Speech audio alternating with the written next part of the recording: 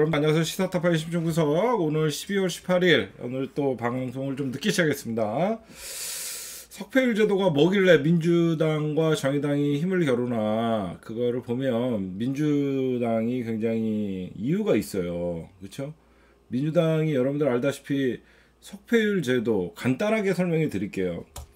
그러니까 여러분들도 대충은 아실 건데 왜 지금 민주당에서 석패율 제도 4 플러스 그러니까 그 정의당, 그 다음에 민주평화당, 바른미래당, 그 다음에 대한신당 어 요 네 개 당이 자기네끼리 3 플러스 1 그 합의를 했어요. 그래서 지금 뭐 50% 연동형 어 50석에다가 그 30석에다가 캡을 씌운다. 그랬고 30석만 어 그 적용하고 나머지 20석은 어 뭐 그 연동형 캡을 벗겨 놓고 하자 이건데 잘 생각해 보세요. 이 석패율이라는 게 여러분들 그 지금 정의당에서 주장하는 거는 지금 현재 지금 뭐 정의당 그 안대로 지금 3 플러스 1 안대로 하면 민주당이 한 어, 비례대표로 한 7석 얻어와요. 7석. 응, 7석. 그쵸? 어? 7석밖에 못 얻어오고 정의당 같은 경우에는 비례 포함해서 한 14석을 얻을 수 있어요. 어, 여러분들 간단하게 설명해 드리면 정의당이 지난 총선에서 한 득표율 10%를 얻었죠.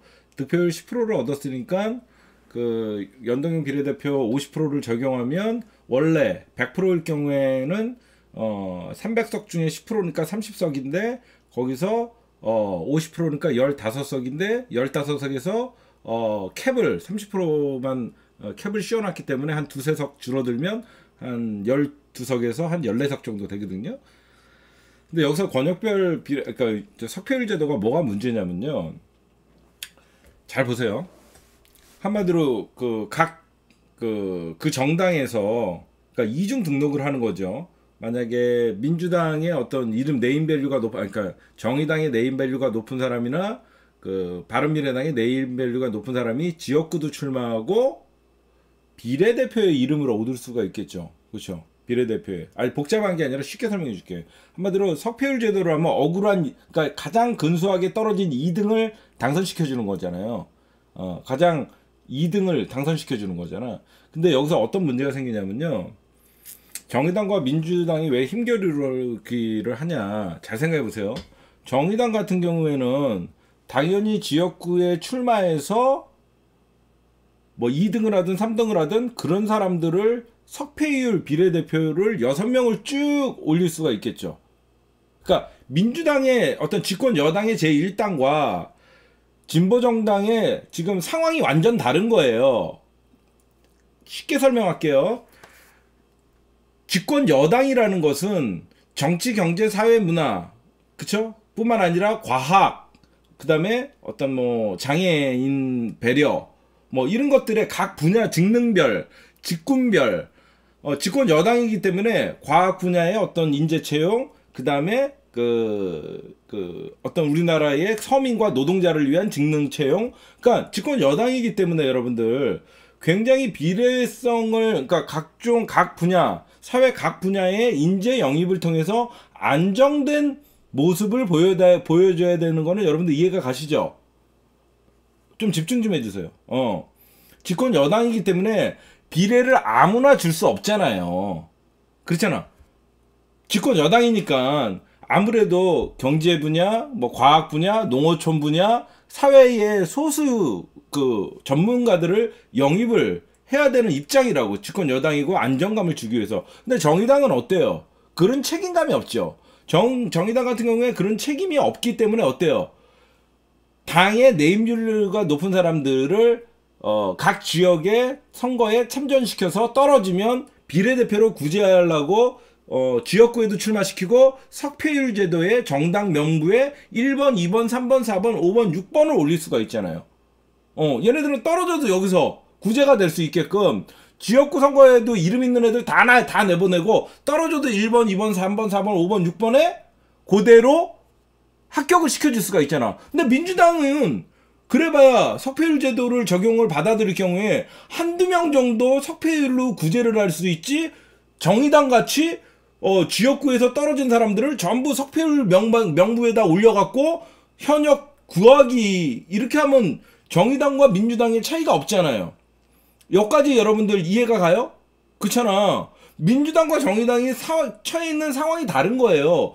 정의당, 민주당은 석패율 제도에 어, 두 명을 올렸어, 이름을. 그래갖고 가장 아깝게 떨어진 사람 두 명을 구제해 주기로 했어. 근데 정의당은 여섯 명을 구제해 주기 위해서 지역구에 나간 사람까지 다 1, 2, 3, 4, 5, 6을 해.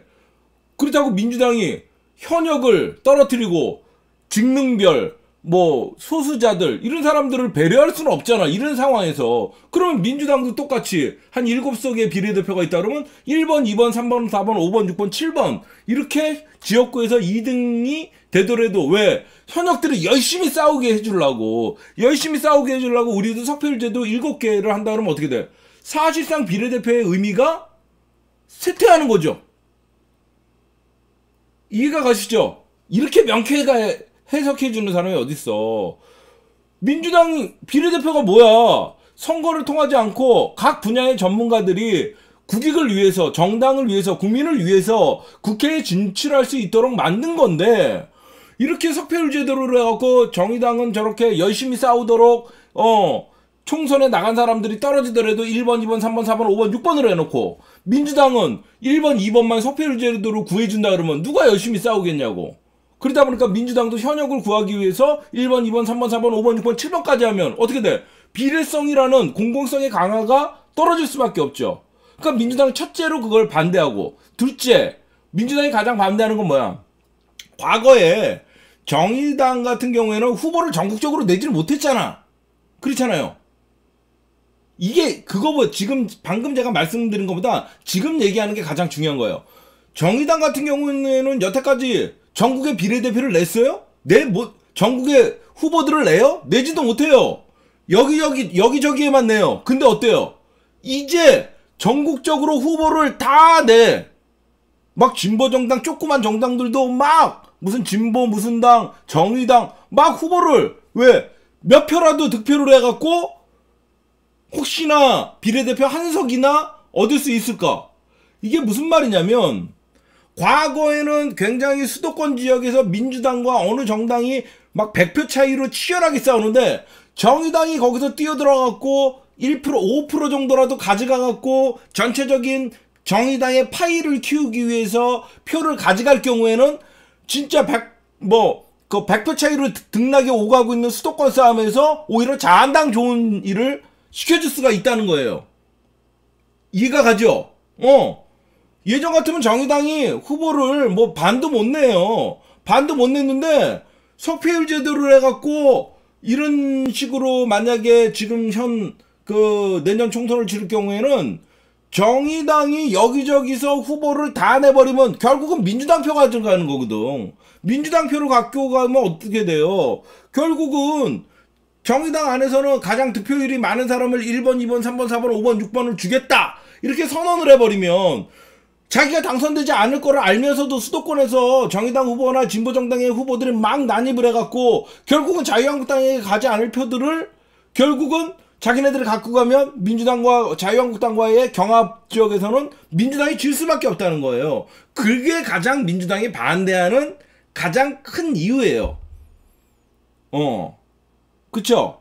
어, 이렇게 설명을 하면 여러분들이 딱 이해가 갈 거야. 석패율 제도라는 게 석패율 제도를 도입한다 그래갖고 비례대표 숫자가 늘어나는 건 아니에요. 비례대표가 숫자 내려, 제도가 늘어나는 것도 아니고 현재에 갖고 있는 그 비례대표의 숫자 갖고 권역별이든 뭐든 자기네들이 1번, 2번, 3번으로 정당별로 알아서 거는 명부를 만드는 거예요. 어떤 정당은 석패율 제도로 1번부터 10번까지를 다, 어, 아깝게 떨어진 사람 1번부터 10번까지를 전부 어, 지역구에 나간 사람들한테 주겠다는 정당이 있을 수 있겠고, 그거는 뭐 소수 정당이야, 뭐 바른미래당이나 그 손학규나 정동영이가 왜 같이 이거를 찬성하냐, 석패율을 왜 찬성하냐, 자기 사람 챙기려고 하는 거예요. 이해가 가요? 손학규 자기 그, 그 자기 측근들 있잖아. 김관영이나 이런 애들 자기를 딱 지켜주고 있는 애들 군산에 나가서 떨어지더라도 석패율 제도를 지키게 되면 자기 사람들을 1번, 2번, 3번, 4번, 5번, 6번으로 만들어 놓으면 어 소수 정당에서는 자기 사람 챙기기 가장 좋은 게 석패율 제도예요. 그렇죠? 그래서 민주당이 석패율 못 받는다는 거예요. 만약에 민주당이 저런 소수 정당들 같이 석패율 제도를 받아버리면 어떻게 돼요? 민주당만 왜 1번, 2번만 어? 아깝게 떨어진 사람이고 나머지들은 구제 안 해주고 그렇다 그래갖고 민주당이 현직에서 열심히 싸운 사람들 구제 안 하는 것도 그렇고 그렇다 그래갖고 비례성을 훼손하면서까지 어? 정치, 경제, 사회, 문화, 뭐 농어촌 분야, 과학 분야, 장애인 분야, 어떤 사회의 어떤 취약 지역의 어떤 대표성을 발휘할 수 있는 직능 분야 이런 분들을 뽑지 않으면 쟤네들 때문에 오히려 비례가 훼손될 수 있다. 그래서 석패율 제도를 현재 민주당이 절대 받지 않겠다라는 거예요.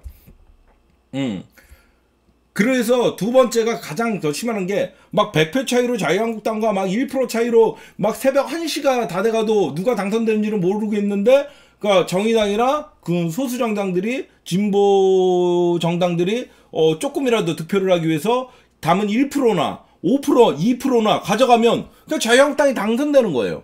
그래서 지금 민주당이 수도 특히 수도권 의원들 같은 경우에는 굉장히 격전지가 많기 때문에 그 격전지는 진짜 1% 2% 갖고 100표 차 200표 차로 당락이 오갈 수 있기 때문에 어떤 그 석패율 제도를 절대 안 된다. 그래서 과거 같으면 후보도 못 냈던 정당의 사람들이 수도권에 마구잡이식으로 후보를 공천할 수 있기 때문에 어, 민주당은 반대를 할 수밖에 없다라고 여러분들이 예, 들으시면 될, 것, 될 것입니다. 그래서 어, 제가 볼 때는 어떤 합의점이 되든가 민주당이 지금 뭐 언론에서는 민주당이 어떤 어, 3 플러스 1이 연동형 캡슐 뭐 30%를 받아들였고 석패율 받아라 그랬더니 민주당이 석패율 못 받는다. 그러면서 마치 민주당이 선거법을 훼손시킨다. 뭐 이렇게 얘기를 하는데 현재 같은 경우에는 민주당이 받을 수 있는 처지가 아니에요. 왜 그러면 정의당과 잘 봐요 여러분들. 정의당 바른미래당 민평당은 자유한국당이 몇 석을 얻어도 사, 상관이 없는 정당이야. 안 그래요?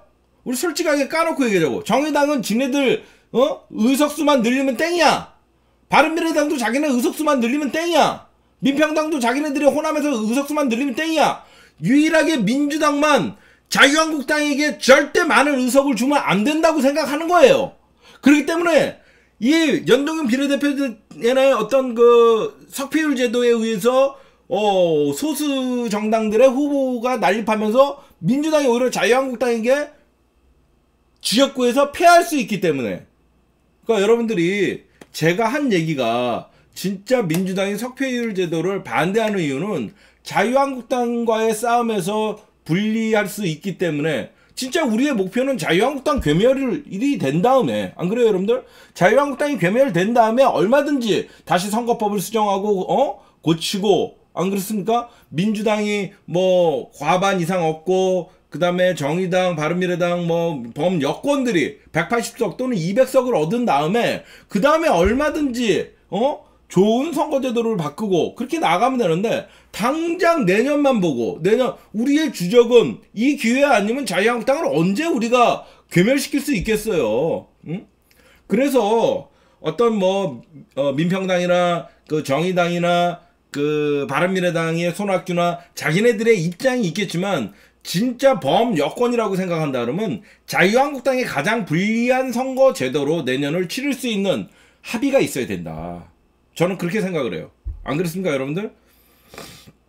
자유한국당을 최소한 의석수를 줄일 수 있는 그런 방향으로 내년 선거를 치를 궁상을 하는 게 국민의 지지를 받을 것이다. 그리고 제가 어제도 잠깐 얘기했지만 정의당이나 다른 정당들 지금 뭔가 착각을 하는데 정의당이 마치 장, 지난 총선에서 지난 총선에서 득표율이 10%라고 해서 마치 그게 정의당의 지지자들이 자기네들은 원래 전국적으로 10%를 얻는 정당이라고 착각을 하는데 정의당의 지지율은 제가 볼 때는 5%밖에 안 되는 정당이에요. 나머지 5%는 이명박근혜 때 이명박근혜 때 투표가 이루어졌기 때문에 이명박근혜를 거치면서 국민들이 강한 야당, 싸우는 야당의 모습을 보기 위해서 힘없는 어, 어, 그 답답함을 느꼈던 민주당보다는 소수 정당으로서 저 반민주 세력인 어, 이명박근혜 정권과 어, 소수 의석 다섯 수 갖고 다섯 수 갖고도 가열차게 싸우는 정의당에게 주역구 투표를 해주셔서 그러지 지금 현재는 문재인 정부의 민주정부에서 정의당이 마치 문재인 정부를 어, 퇴색한 우회전한다라고 한다든지 아니면 자유한국당과 연합을 해서 어, 문재인 정부를 비판하는 이런 모습을 보이면 사실상 정의당이 때를 쓰면 때를 쓸수록 정의당에 들어갈 수 있는 비례대표 한계는 줄어든다. 아, 정당 투표는 줄어든다. 특히 정의당은 무엇을 착각하면 안 되냐? 정의당에게 투표를 했던 지지층도 바로 민주당 지지층이었다는 걸 잊지 말아라. 정의당은 뭔가를 착각하는데 정의당의 순수 지지층은 내가 볼 때는 5%밖에 안 된다. 나머지 5%는 조금 더 열심히 싸우라고 이명박근혜 때 힘을 실어주기 위해서 정의당에게 정당 투표를 했던 결국 문재인 지지자들이다. 라고 명심을 해서 내년 총선에서는 공공의 적인 자유한국당 괴멸에 어떤 사활을 걸어달라 그래서 어 시간은 제가 보면 어 잘 보세요 시간은 뭐 소수 정당들이 어떻게 해서든지 연동형 캡슐을 씌우든지 저는 민주당이 오히려 유리한 총, 어, 칼자루를 쥐고 있지만 시간이 지나면 지날수록 뭐 어떻게 될지 모르겠죠. 왜 그러냐면 어, 소수 정당 즉 정의당, 바른미래당, 민평당, 어, 대한정당의 약점은 약점은 현행대로 석패율 제대로 없애더라도 연동형 비례대표가 적용을 돼야만 여, 적용이 되면 무조건 소수 정당에는 유리하게끔 자기네들이 정당 득표율만큼 비례대표를 갖고 올 수 있기 때문에 무조건 자기네들은 유리하기 때문에 결국은 선거법이라는 거에 대해서 어떤 그 절충안을 마련할 수밖에 없고 어, 소수 정당에서 민주당을 설득할 수밖에 없지만 어, 그래서 계속 어, 민주당이 그걸 알기 때문에 본인들이 양보할 수 없는 거에 대해서는 절대 협상을 해주지 않는 것이고